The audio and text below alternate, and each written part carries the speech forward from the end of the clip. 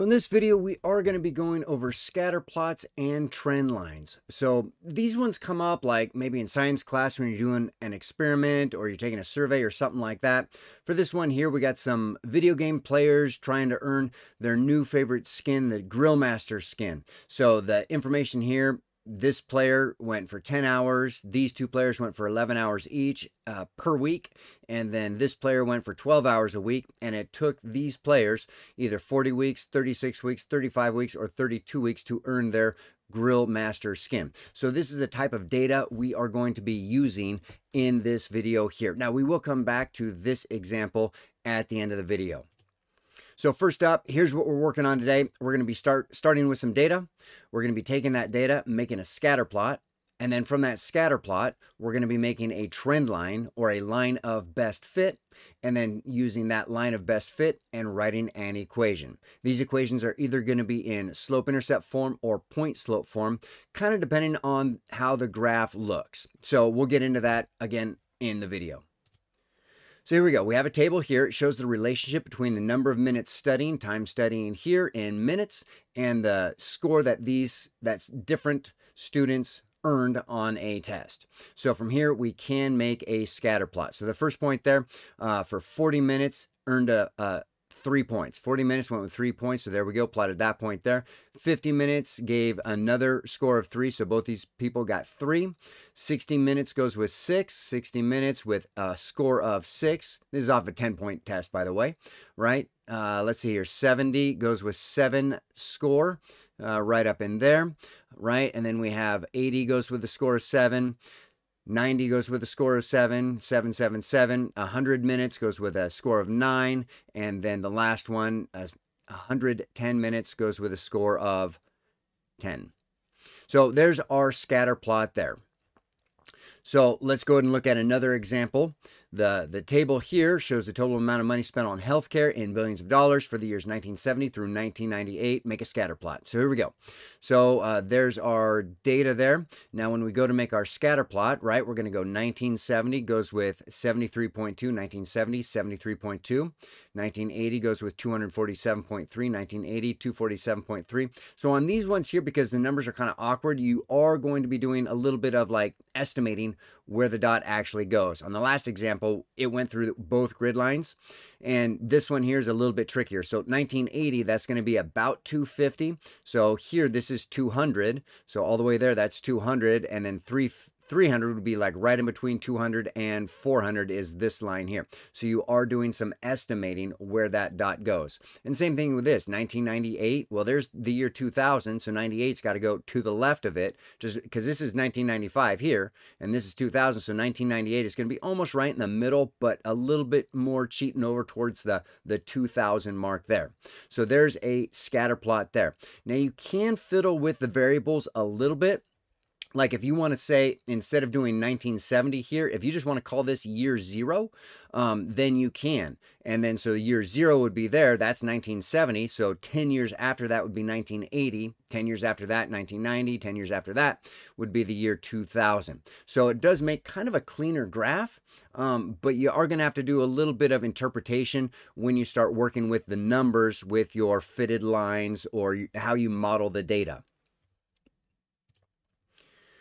so scatter plots. So we're going to have scatter plots are going to they're going to look different depending on the data here. So we're just looking at whether or not these scatter plots show a positive, a negative, or they have no relationship in the data. So before you make like a prediction equation, you need to know, well, is this actually doable, right? So this one here, you can see the data from left to right, it's going up. So that's going to be a positive relationship. Uh, this one here in the middle, it doesn't really have a direction that it's going. So we're going to call this one no relationship or no correlation is the other word we would use. And then this third one here from left to right, it's trending down. So that's going to be a negative relationship or negative correlation. Now this guy here, if you notice, it does have a pattern to it. So it goes up and then goes back down. It's not it, it's not a no correlation because it actually has a pattern to it, but it's not a linear pattern. It's not going strictly up or strictly down. So we're going to call this one, at least for now, we're going to call this one non-linear. So these ones back here, linear and linear and no correlation. This one here is not a linear correlation. So we're not going to try and model it with a line.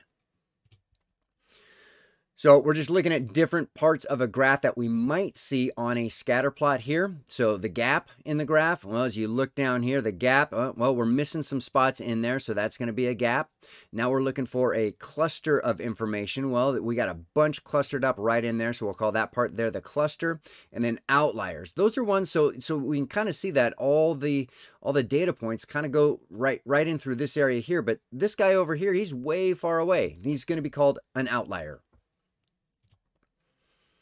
So now we're going to look at drawing a fitted line or line of best fit for data. So we've already done a scatter plot here. This one is number of activities versus number of years. And so when you go and do these, you want to kind of like figure out which way this data is trending. It's a slope type idea, right? So we're kind of looking like, oh no, too steep, not quite steep enough. Where is it? So we're looking at about right like that. So the data kind of goes that direction there. And again, we're looking from from left to right. So we're kind of looking this way here.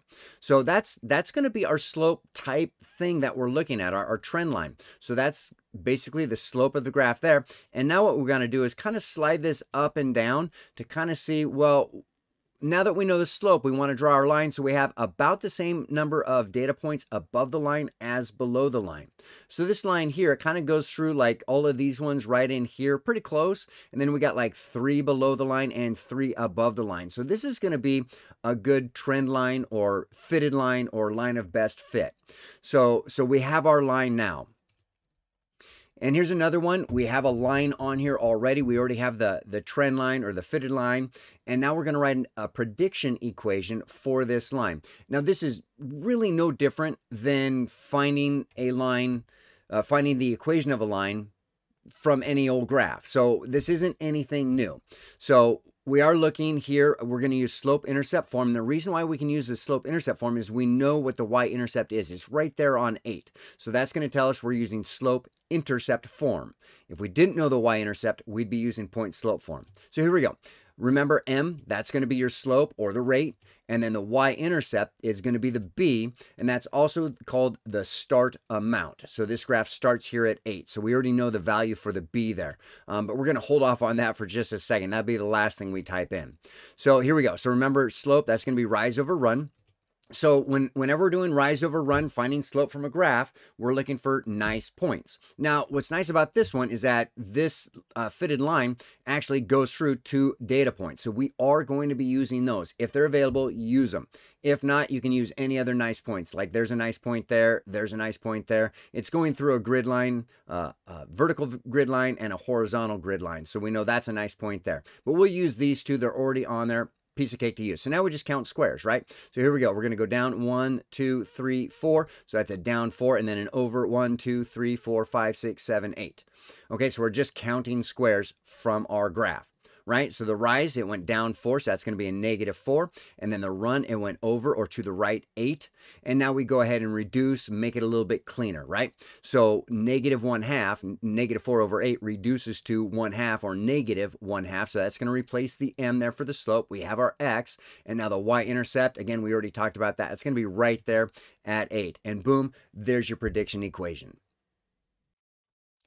So here we're going to make a scatter plot with this data here. Now this data comes from like somebody having some guests over for like supper or whatever. Sometimes they have three or four or five or six or seven, eight guests over for, for dinner.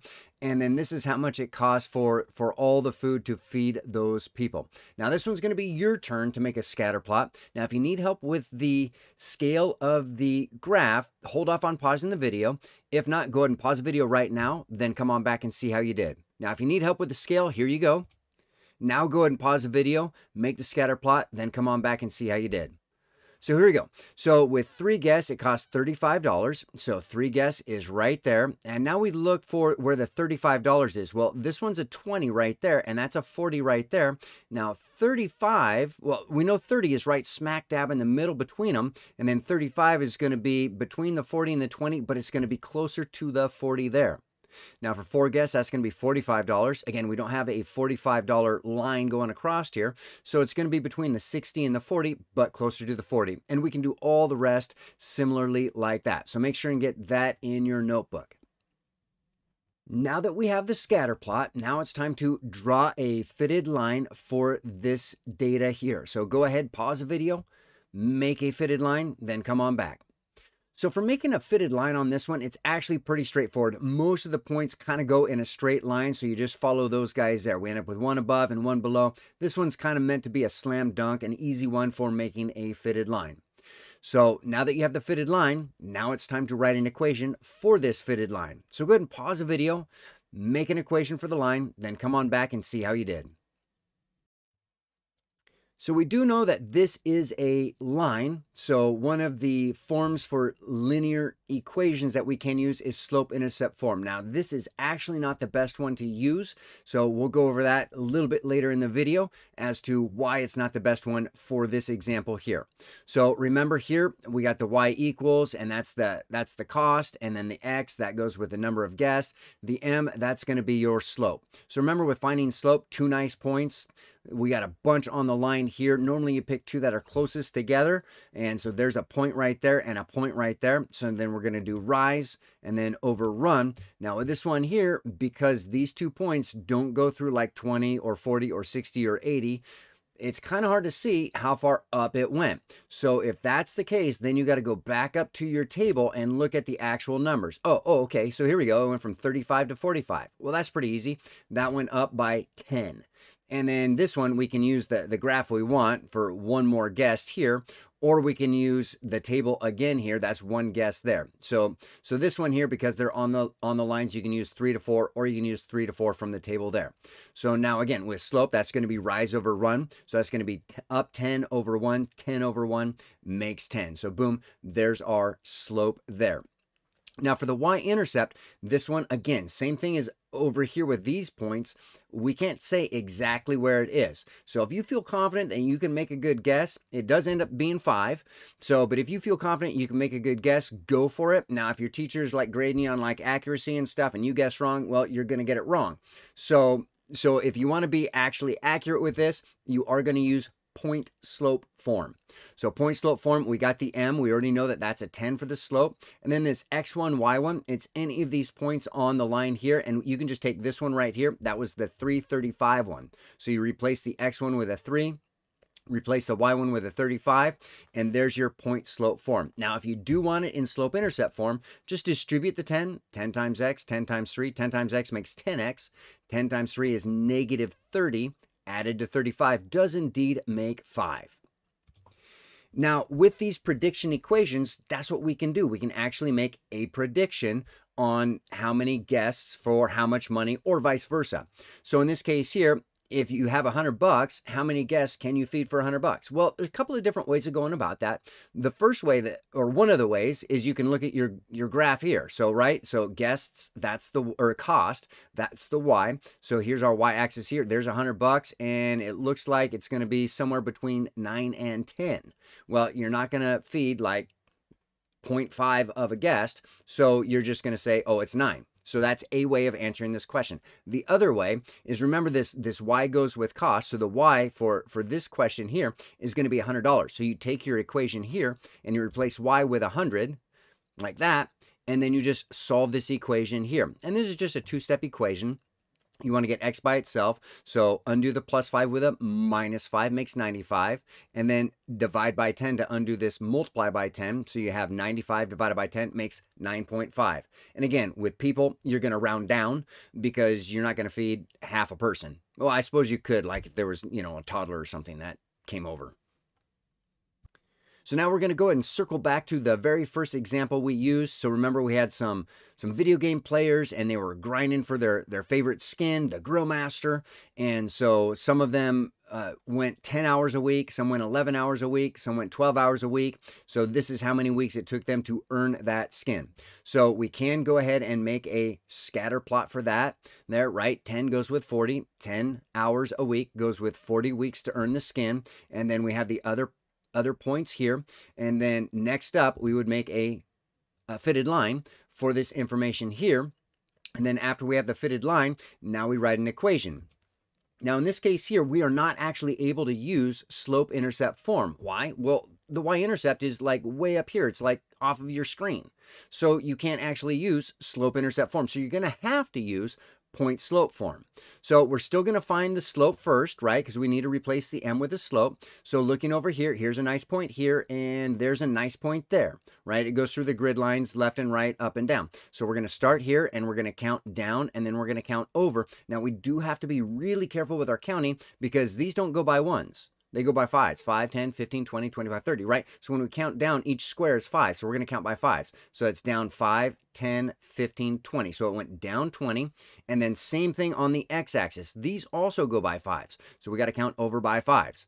Now, on this one here, it would have been the same either way because they both go by fives, but a lot of times you're going to have a different y scale versus an x scale on word problems or like problems that have like a scenario that goes with them. So we do negative 20 over 5, rise over run. The rise was down 20 over 5. Now, if you did want to go off of the, these points here, because like this one right there, um, you can't really tell where it is. The line does go straight through it. So this is a good point here, but you can't tell from the graph where it is. So you would go to your table over here. And so here we're going, looking at the y's, you're going from 40 down to 32. Well, that's going to be a down 8. And then from 10 to 12, that's another 2 hours there. So negative 8 over 2 or negative 20 over 5, it's still going to make 4 or negative 4. So there's your slope there and then the x1, y1, well, let's just use this point right here. It's on the line. We know exactly what it is. Again, this would be another nice point, the 1520, but we'll use this one. It's cleaner information. We're not guessing, okay? So 10 replaces the x1, and then a 40 is going to replace the, the y1 there. Now, if your teacher does say, no, no, no, we, we, we're, we, I don't want you to leave it in point slope form, then you need to just take this and change it into slope intercept form. So start up by multiplying, distributing the negative 4 times x, negative 4x, negative 4 times negative 10. Negative times negative is a positive, so makes a plus 40. And then just add like terms, right? We got the 40 and the 40. That's going to be 80 there for the, the b term or the, the y-intercept, which again was way up here off the screen. So again, with any of these scatter plots and fitted lines, you start with some information, make your scatter plot, draw the fitted line, and then just pretend it's like, you know, three weeks ago or whatever when you were doing a graph to an equation and you're still going to do the same thing. Now, again, if you know the y-intercept, you'll use slope-intercept form. If you do not know the y-intercept, then you do have to use point slope form.